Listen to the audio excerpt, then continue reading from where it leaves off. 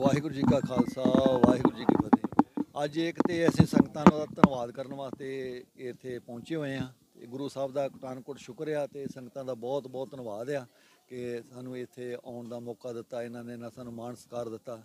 ਤੇ ਪਹਿਲਾਂ ਵੀ ਇਹਨਾਂ ਨੇ ਲੋਕ ਸਭਾ ਇਲੈਕਸ਼ਨ 'ਚ ਵੀ ਬਹੁਤ ਵੱਡੀ ਸਪੋਰਟ ਕੀਤੀ। ਉਹਦੇ ਵਾਸਤੇ ਅਸੀਂ ਇਹਨਾਂ ਦੇ ਧੰਨਵਾਦੀ ਹਾਂ ਤੇ ਬਾਕੀ ਦੂਸਰਾ ਜਿਹੜਾ ਵਿਸ਼ਾ ਵਾ, ਉਹ ਦੋ ਚਾਰ ਬੇਨਤੀਆਂ ਇਹਨਾਂ ਦੇ ਚਰਨਾਂ 'ਚ ਕਰਨ ਵਾਸਤੇ ਹੈ ਕਿ ਸ਼੍ਰੋਮਣੀ ਕਮੇਟੀ ਦੀਆਂ ਵੋਟਾਂ ਤੁਸੀਂ ਜਿਹੜਾ ਸਮਾਂ ਰਹਿ ਗਿਆ ਹਫ਼ਤਾ ਤੱਕ ਉਹਦੇ ਵਾਸਤੇ ਵੱਧ ਤੋਂ ਵੱਧ ਕੋਸ਼ਿਸ਼ ਕਰੋ ਕਿ ਸਾਰੇ ਜਣੇ ਕੋਈ ਕੋਈ ਕੋਈ ਗੁਰਸਿੱਖ ਵੋਟ ਤੋਂ ਵਾਂਝਾ ਨਾ ਰਵੇ, ਉਹ ਬਣਾਉਣ ਦੀ ਕੋਸ਼ਿਸ਼ ਕਰੋ। ਤੇ ਆਉਣ ਵਾਲੇ ਸਮੇਂ 'ਚ ਇਲੈਕਸ਼ਨ ਵਾਸਤੇ ਵੀ ਤੁਸੀਂ ਕੋਈ ਉਮੀਦਵਾਰ ਦੀ ਆਪਣੇ ਤੌਰ ਤੇ ਕੋਈ ਸਿਲੈਕਸ਼ਨ ਕਰਕੇ ਰੱਖੋ ਕਿ ਆਪਾਂ ਉਹ ਕਿਹੜੇ ਬੰਦੇ ਨੂੰ ਇੱਥੇ ਇਹ ਕੋਈ ਪੂਰਨ ਜਿਹੜਾ ਕੌਮਪ੍ਰਸਤ ਬੰਦਾ ਹੋਵੇ ਜਿਹੜਾ ਨਿਜਵਾਦ ਹਉਮੈ ਤੋਂ ਸਬਰ ਸੰਤੋਖ ਵਾਲਾ ਹੋਵੇ ਉਹ ਉਹ ਜਿਹੇ ਬੰਦਿਆਂ ਦੀ ਚੋਣ ਕਰਕੇ ਜਿਹੜੀ ਸਾਡੀ ਕੌਮ ਦੇ ਹਾਲਾਤ ਬਣੇ ਪਏ ਉਹਨਾਂ ਚੋਂ ਅਸੀਂ ਨਿਕਲ ਸਕੀਏ ਸਾਡੀ ਨੌਜਵਾਨੀ ਨੂੰ ਨਸ਼ਿਆਂ ਤੋਂ ਬਚਾ ਸਕੀਏ ਉਹਨਾਂ ਨੂੰ ਧਰਮ ਨਾਲ ਜੋੜ ਸਕੀਏ ਉਹਨਾਂ ਨੂੰ ਚੰਗੀ ਸਿੱਖਿਆ ਦੇ ਸਕੀਏ ਚੰਗੀ ਸੇਧ ਦੇ ਸਕੀਏ। ਬਾਬਾ ਜੀ ਜਿਹੜਾ ਕੰਗਨਾ ਰਣੌਤ ਦਾ ਵਿਵਾਦ ਚੱਲ ਰਿਹਾ ਇਹ ਤੇ ਕਿੱਦਾਂ ਲੱਗਦਾ ਮੇਰਾ ਖਿਆਲ ਇਹ ਹੁਣ ਆਵਾਜ਼ ਨੂੰ ਦੁਬਾਰਾ ਆਪਾਂ ਨਾ ਹੀ ਆਵਾ ਦਈਏ ਕਿਉਂਕਿ ਉਹ ਕੰਗਣਾ ਰਣੌਤ ਦਾ ਜਿਹੜਾ ਸ਼ੁਰੂ ਤੋਂ ਹੀ ਲ- ਜੋ ਕਿਸਾਨ ਅੰਦੋਲਨ ਚੱਲਿਆ, ਉਹ ਸਾਡੇ ਖਿਲਾਫ, ਸਿੱਖਾਂ ਦੇ ਖਿਲਾਫ, ਪੰਜਾਬੀਆਂ ਦੇ ਖਿਲਾਫ ਬੜੀ ਉਹਨੇ ਜ਼ਹਿਰ ਉਗਲਦੀ ਹੈ। ਜਦੋਂ ਵੀ ਉਹਨੂੰ ਮੌਕਾ ਮਿਲਦਾ, ਸਾਡੀਆਂ ਧੀਆਂ ਭੈਣਾਂ ਨੂੰ ਉਦੋਂ ਵੀ ਬੜਾ 100-100 ਰੁਪਏ ਤੇ ਆਉਂਦੀਆਂ, ਇਹੋ ਜਿਹੇ ਲਫ਼ਜ਼ ਉਹਨੇ ਵਰਤੇ ਕਿ ਮੇਰਾ ਖਿਆਲ ਹੈ ਕਿ ਇਹੋ ਜਿਹੀਆਂ ਚੀਜ਼ਾਂ ਦਾ ਆਪਾਂ ਨੂੰ, ਇਹੋ ਜਿਹੇ ਬੰਦਿਆਂ ਨੂੰ ਸਗੋਂ ਨੋਟਿਸ ਨਹੀਂ ਲੈਣਾ ਚਾਹੀਦਾ ਜੀ। ਨਹੀਂ, ਮੇਰੇ ਖਿਆਲ ਤੇ ਸ- ਜੇ ਸੈਂਸਰ ਬੋਰਡ ਨੇ ਉੱਤੇ ਪੂਰਨ ਪਾਬੰਦੀ ਲਾਤੀ ਤੇ ਬਹੁਤ ਸਹੀ ਹੈ ਫੈਸਲਾ ਜੀ, ਨਹੀਂ ਤੇ ਉਹਦੇ ਨਾਲ ਪੰਜਾਬ 'ਚ ਬਹੁਤ ਵੱਡਾ ਵਾਦ ਵਿਵਾਦ ਉੱਠ ਜਾਣ ਦੀ ਜਾਂ ਹਾਲਾਤ ਖਰਾਬ ਹੋਣ ਦੇ ਆਸਾਰ ਸੀਗੇ। ਕਾਲੀ ਮੰਤਰੀ ਨੇ ਤਲਬ ਕੀਤਾ ਅਕਾਲ ਤਖਤ ਸਾਹਿਬ ਨੇ। ਉਹਦੇ ਕੀ ਕਹਿਣਾ ਜਿਹੜੇ ਸੁਖਬੀਰ ਸਮੇਤ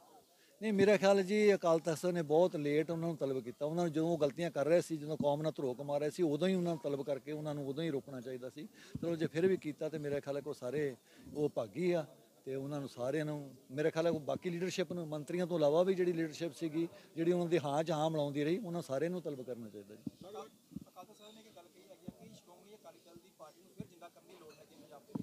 ਨਹੀਂ ਇਹ ਇਹ ਪਾਰਟੀ ਜਿਹੜੀ ਆ, ਅਕਾਲੀ ਦਲ ਬਹੁਤ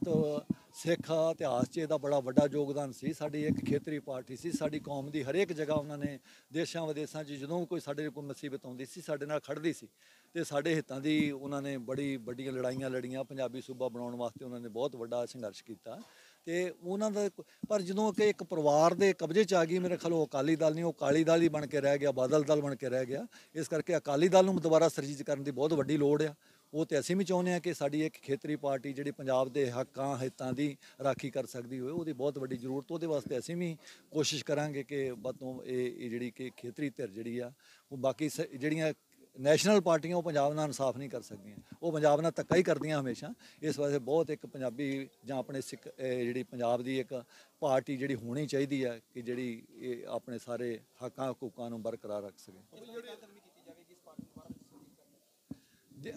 ਚੱਲ ਹੀ ਰਹੀ ਹੈ ਸੰਗਤਾਂ ਨਾਲ ਸਲਾਹ مشورہ ਚੱਲ ਹੀ ਰਿਹਾ ਅਸੀਂ ਜਗ੍ਹਾ ਜਗ੍ਹਾ ਲੋਕਾਂ ਦੀ ਲੈ ਰਾਏ ਲੈ ਰਹੇ ਹਾਂ ਕਿ ਇਹ ਕੀ- ਕੀ ਹੋਣਾ ਚਾਹੀਦਾ ਉਹ ਚ ਜੋ ਸੰਗਤਾਂ ਦਾ ਸਾਂਝਾ ਫੈਸਲਾ ਹੋਊਗਾ ਉਹਦੇ ਅਨੁਸਾਰ ਹੀ ਅਸੀਂ ਕੋਈ ਫੈਸਲਾ ਲਵਾਂਗੇ ਜਿਹੜੇ ਇਲੈਕਸ਼ਨ ਚੋਣ ਆ ਰਹੇ ਉਸ ਜਿਹਨਾਂ ਜੋ ਅਲੱਗ-ਅਲੱਗ ਕੈਂਡੀਡੇਟ ਅਨਾਉਂਸ ਕੀਤੇ ਜਾ ਰਹੇ ਖਾਲਸਾ ਜੀ ਵੱਲੋਂ ਕੀਤੇ ਜਾ ਰਹੇ ਤੁਹਾਡੇ ਆਪਣੇ ਦੂਸਰੇ ਪਾਰਟੀ ਜਿਹੜੇ ਜਿਹੜੇ ਸਿੱਖ ਸ਼ਹੀਦ ਹੋਏ ਸੀ ਉਸ ਟਾਈਮ ਗੁਰੂ ਗ੍ਰੰਥ ਸਾਹਿਬ ਦੀ ਬੇਅਦਬੀ ਦਾਨ ਉਹਨਾਂ ਦੇ ਬੱਚੇ ਅਲੱਗ ਅਨਾਉਂਸਮੈਂਟ ਕਰ ਕੀ ਤੁਹਾਨੂੰ ਲੱਗਦਾ ਗਲਤ ਨਹੀਂ ਹੋ ਰਿਹਾ ਨਹੀਂ ਅਸੀਂ ਕੋਸ਼ਿਸ਼ ਕਰਾਂਗੇ ਸਾਰਿਆਂ ਨਾਲ ਬਹਿ ਕੇ ਇੱਕ ਹੀ ਉਮੀਦਵਾਰ ਦੇਣ ਦੀ ਕੋਸ਼ਿਸ਼ ਕਰਾਂਗੇ ਪਰ ਮੇਰਾ ਖਿਆਲ ਹੈ ਕਿ ਜਿਹੜੀ ਆਪਾ ਧੱਪੀ ਇਹ ਚੰਗੀ ਨਹੀਂ ਸਾਡੀ ਕੌਮ ਲਈ। ਆਪਾਂ ਨੂੰ ਸਾਰਿਆਂ ਨੂੰ ਰਲ ਮਿਲ ਕੇ ਕੋਈ,